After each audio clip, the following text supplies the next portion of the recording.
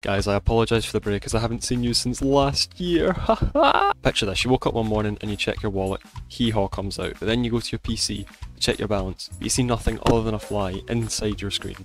If this sums up your Venge VG balance, then subscribe, because same. Psych! Firstly, I'm going to do a 5000 VG giveaway, so somebody could literally win VG by watching a guide on how to get VG. Yeah, you're welcome. All you need to do is comment a video you would like to see me do, or a topic in Venge you'd like to see me cover.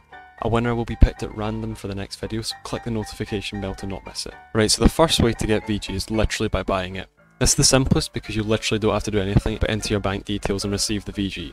If you choose this method, make sure you use a creator code as you get an extra 10% VG, which is stonks. I don't have one, but there's plenty of other creators in game with codes that you can support on screen. So pick wisely, because if you pick the wrong one, you will be an enemy in the eyes of the other.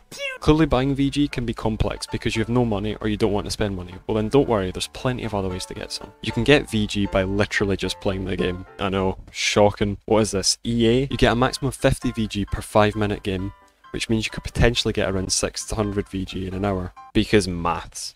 This is good and all. You can't even open a tier 3 crate with this. Thankfully, there are ads in Venge. Never thought I'd say thankfully and ads in the same sentence, but we move. On the browser, you can get ads every 10 minutes and can either get a 100, 200, or 500 VG reward, which is the most efficient way for grinding. If you play in the client, just simply open the browser every two games or so. Control R to refresh and boomski.